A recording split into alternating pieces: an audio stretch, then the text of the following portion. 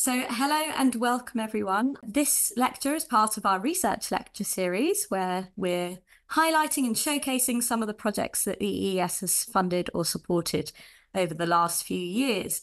So, I am delighted to introduce uh, Hesham Abdel Kader, who is our speaker today, who received both a Heritage at Risk grant and a Centenary Award in 2022 and 2023, respectively, for his project at the Greco-Roman city of Hermopolis Magna, which we will be hearing about today. So, of course, the lecture is entitled Excavation of a Roman Public Bath at Hermopolis Magna, and uh, we will be hearing about two different seasons. If you are an EES member, you will have received this issue of Egyptian archaeology, the spring 2023 uh, issue, where Hesham did publish an article on the first season of excavations at this site. Uh, but we will, of course, be hearing about the second season, which was awarded secondary funding uh, by our society. But to introduce uh, Hesham, he is an archaeologist in the Ministry of Tourism and Antiquities, uh, specializing in Roman archaeology in Egypt. He has more than 12 years of experience in excavations and management of heritage sites in Egypt. Currently, he is a final year candidate for a PhD in archaeology from Ain Shams University on the subject of baths and water management in Hermopolis Magna in the Roman period. He recently received a Heritage at Risk grant and a Centenary Award, uh, as I said.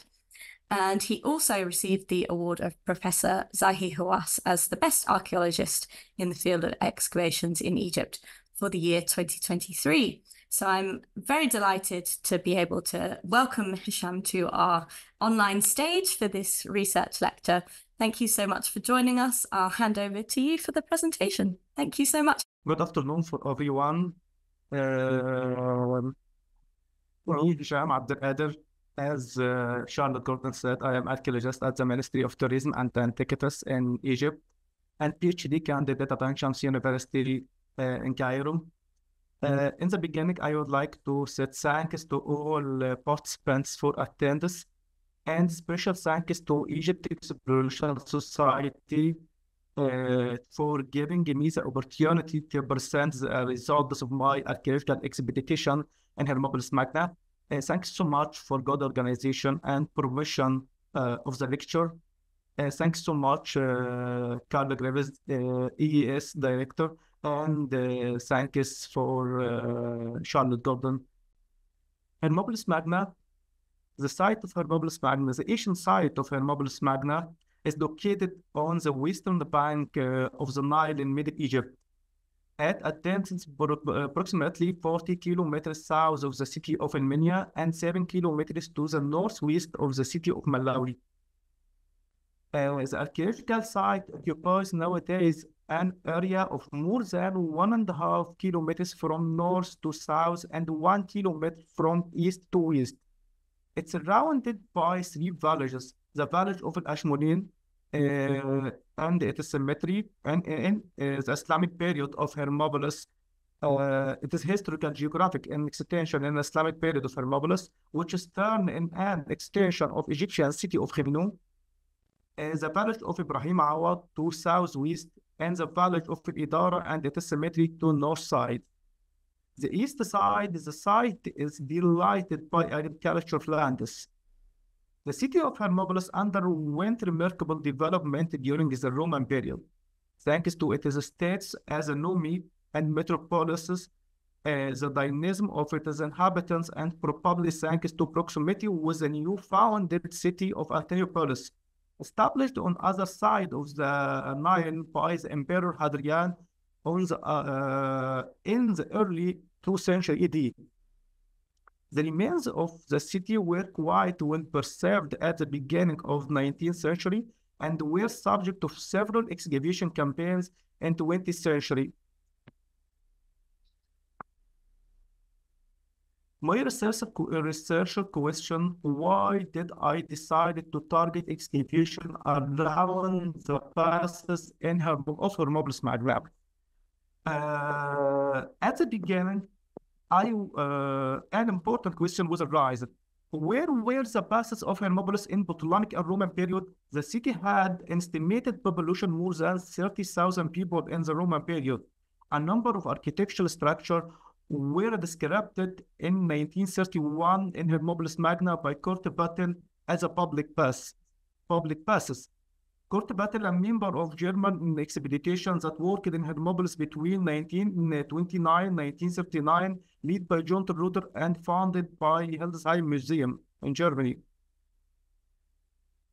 Uh, my walking survey that I conducted on the site during the year 2020 uh, confirmed that most of this structure not passes, which is exception uh, with exception of the remains uh, of architectural structure east of Ashmunein Cemetery. So I decided to choose that idea and, and the topic of my dissertation to obtain PhD in archaeology from Ain Shams University in Cairo. This is my walking survey. I started my walking survey in September in 2020 me and uh, my colleague helping me, Ahmad Ata, and the local inspector in Hermopolis, uh, Dr. Sayed Abdel Malik. But before my work survey, I collect uh, many data about Hermopolis Magna.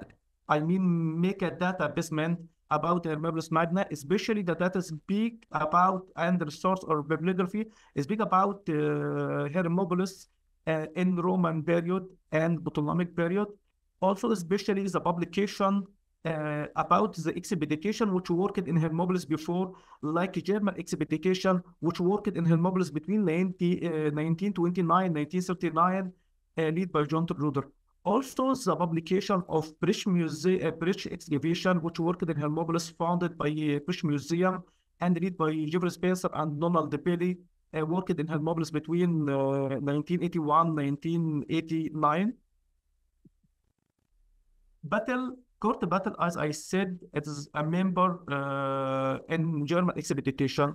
And uh, he uh, first one speak about Hermopolis passes. He just uh, described eight structure in Hermopolis Magna as a public passes. But my walking survey, just I found three, number one and number seven and number five. Uh, except this, all of the structure destroyed it. After I studying number one and number seven, I found it and I discovered it that building is not passes. It is uh, the function of that building, uh, especially number seven and number one, relate with uh, other fu uh, function, like relate with industrial activities or system or water tanks, but sure it is not passes.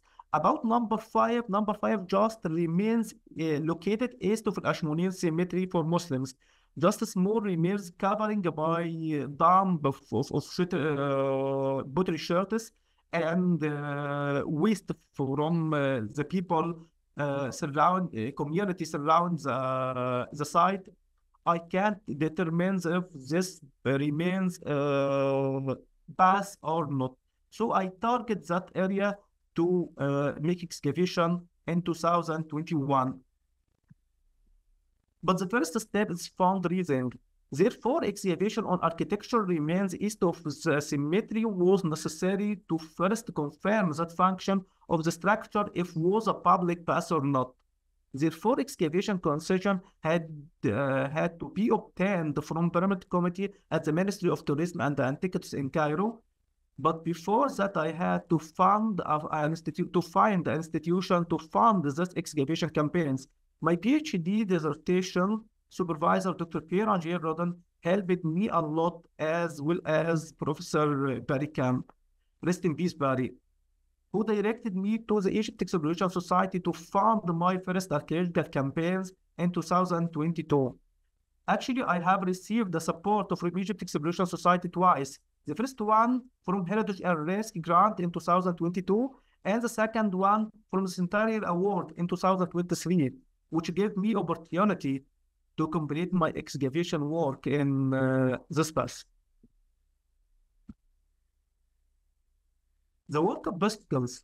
Before starting the excavation, especially first season, uh, especially my first season, I faced the many obstacles to the work. The most important which, uh, the most important of which was occupation of the site. It appears in the picture by the community surround the site, which use the site to raise livestock in addition to uh, dumping of all kind of waste. Waste from building demolition, household waste, as well as animal waste. As you can see in the picture and slide, but I overcome this obstacle in several ways, sometimes by force and, uh, or sometimes by awareness. This picture from the, for the site pre-excavation in uh, March uh, 2022, pre my excavation in first season, after I removed every uh, uh demolition waste and uh, household waste, uh, just except I have a, a plant waste in the surface, I move it in the in, in the in the first day of excavation by manually there's two pictures from from archive for the site taken by Kurt Bittel in 1961 uh, for the remains uh, which we sang before excavation, which we sang that is uh, public path located eastern of Al Ashmunein Cemetery. That's my site after my uh, after the end of my second season. You can see after I revolved or discovering the uh, the bass or the hot section of the bass, and adjacent of the building, we can see huge blocks uh, limestone belonging to a temple, I think dating back to the Ptolemaic or Roman period, but not published until now uh, before uh, because it no uh, it is not target uh, before any archaeological measure which worked in Hermopolis before. The methodology of uh, work in first excavation season also come to work from the known to unknown. Since the walking survey in 2020, the remains of part the eastern wall of the pass were found. There was known to me, in addition to the map drawn by Kurt in 1931 uh, for archaeological remains that were clearly visible in his time I was guided by that map to move from unknown to known until most of the past equipment were revolted at the end of second season. The first season. The first season took place between March and April 2022, uh, funded by Heritage uh, and Rescue Grant uh, from Egypt Exploration Society actually my results uh, in the season come on with an expectation, uh, which I discovering the hot section of the bath and the system and water supply system. The first season in Eastern Bass of Hermopolis Magna has already brought a lot of information that is very useful for the future reassessment of this building, but it has not yet been entirely cleared for lack of time. So a second field mission in Eden to proceed to the excavation of northern part uh, of the building, which should including the main entrance and cold rooms. The Caldarium. The important thing which I discovered in the uh, first season is the heat, heating system. Uh, the hot section is occupied, occupied by an uh, intercalated heating system with several furnaces surrounding the section from north and south sides. Uh, the hot section contains several rooms, probably three, with a mini bathtub in good condition, decorated with marble floors, and the very meticulous and well-preserved swig system. Uh, actually, in my past, I found two swig systems. One for collect the wastewater from the western bathtub in the western side of, uh, of the bath and one for collect wastewater uh, from the bathtubs in the eastern uh, side of the bath. But I don't have any archaeological evidence proves that uh, that two systems have a connection. But I think if I contain my excavation, especially the, uh, the eastern uh, side, sorry, the south side, maybe I found canal to connection between the two systems the second season. The second season took place between April and May in 2023, funding by Centennial Award uh, from. The results of the second season, the hot section was entirely cleared. It contained several rooms with bathtubs and limestone floors.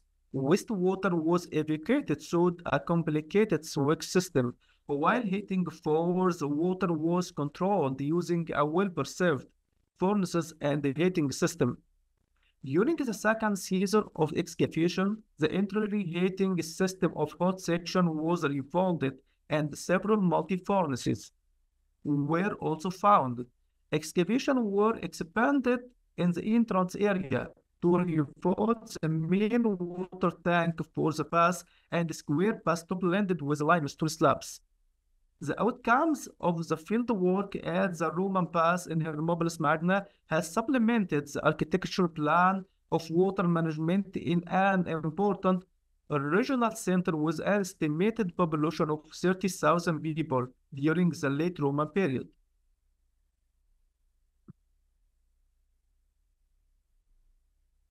Actually, I used uh, many kind of documentation, especially to document my structure, especially after I end second season.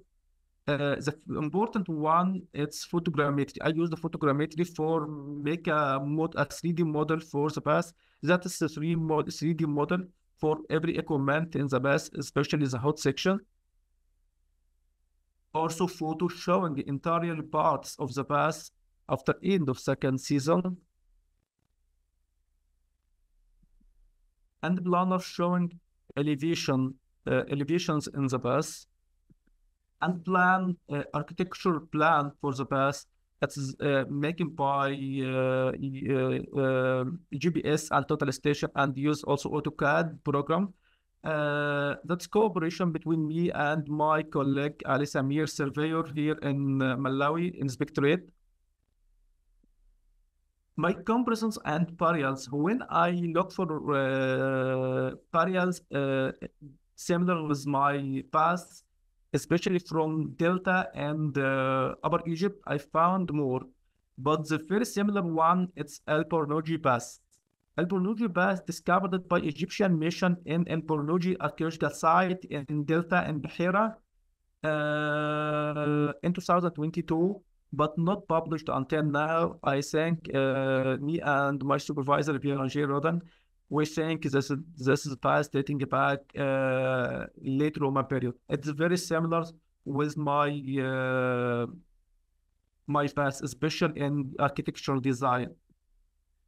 Byzantium Pass in Maria, also similar with my past, especially in semicircle bathtubs also and uh, in uh, hot section, uh, sorry, in cold section and in mid entrance. The Roman bath in Karnak, it is not Byzantium, but dating back to Roman period, I think in third century AD. it is similar with my bath in uh, swig system and water supply system. Uh, the date, the dating, the dates of the past likely to time between the 4th to 6th century AD, railing on two main reasons. The first is uh, the first one is architectural design of the past, which is similar to many of burials that have been compared to Hermopolis passes. For example, passes of Tel Maria, Cappadocia, in Lower Egypt at Suez Clysma or at Suez Clysma and Sheikh Zuweid in Sinai, El Pornuji Pass in Bahira and Delta, and Roman public pass of Karnak in Luxor. Most, most of which dating back to late Roman period, except the Roman passes of Karnak date back to uh, 3rd century AD. The second reason the second reason is that through the discovery of very small bronze tool no longer than 10 centimeter length.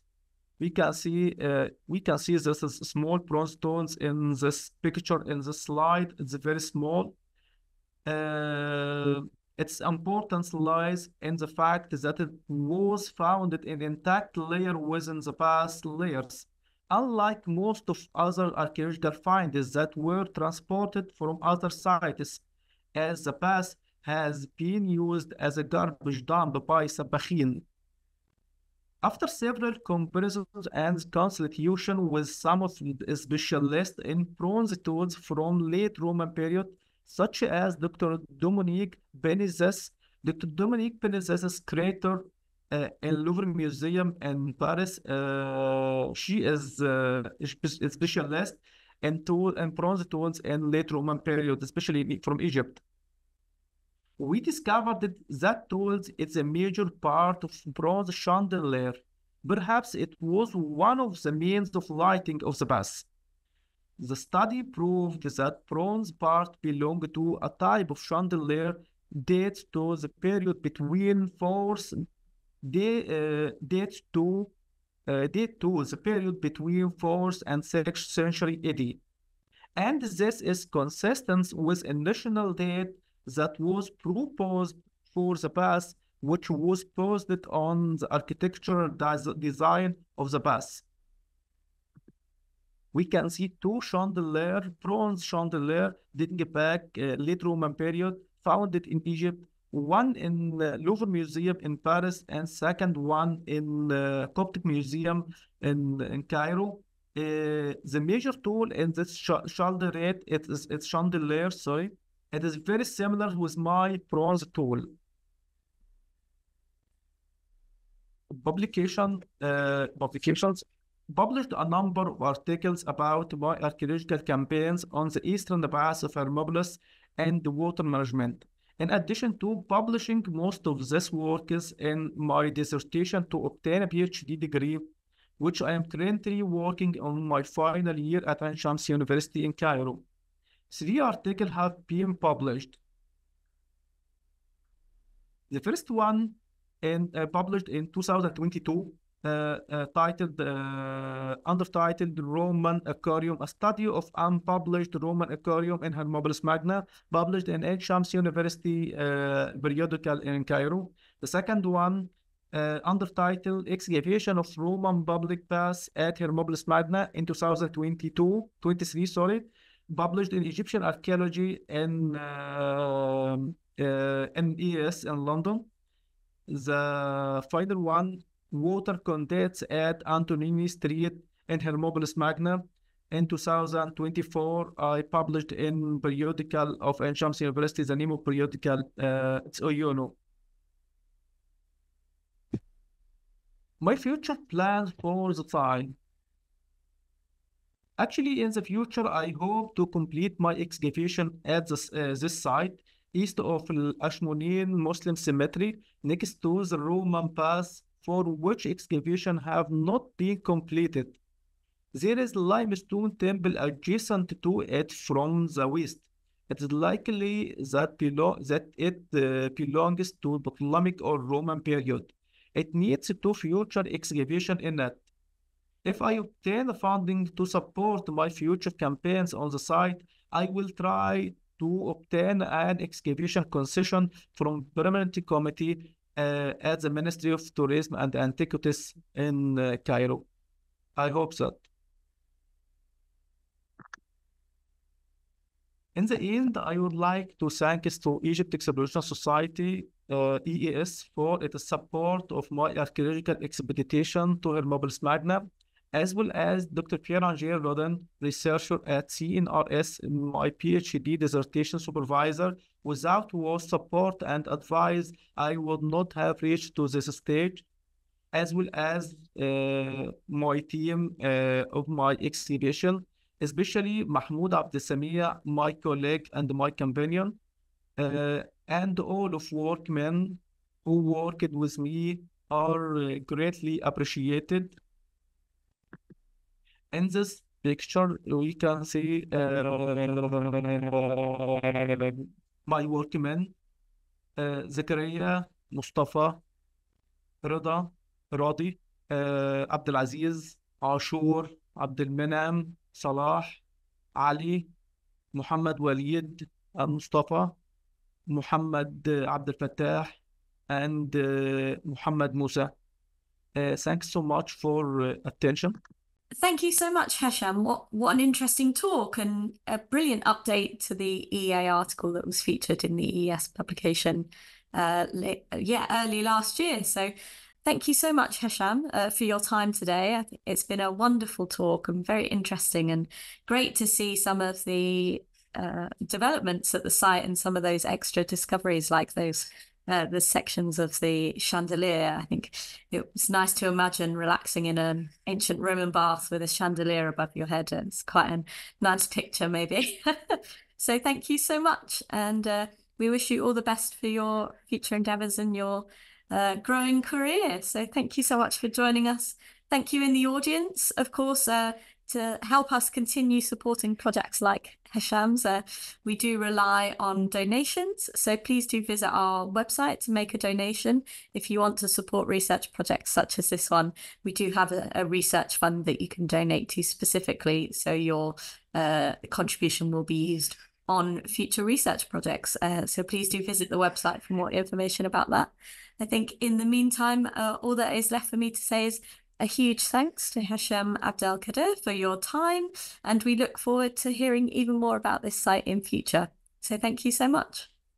Thanks to you, uh, Charlotte, for your uh, for the document organization and the promotion for my lecture.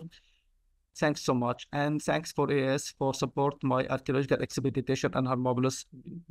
Uh, without uh, ES, I can't make any excavation here, Hermopolis. Thanks so much. Well, thank you for conducting such a brilliant project. Thanks. So, and every any if anyone uh, from participants have any question, uh, you can send it to me. It's okay. Yeah, perfect. I think your email's on the screen earlier. So yeah, please do get in touch. Thank you Thanks. all and Thanks. see you at another ES event soon. Bye everyone. Bye.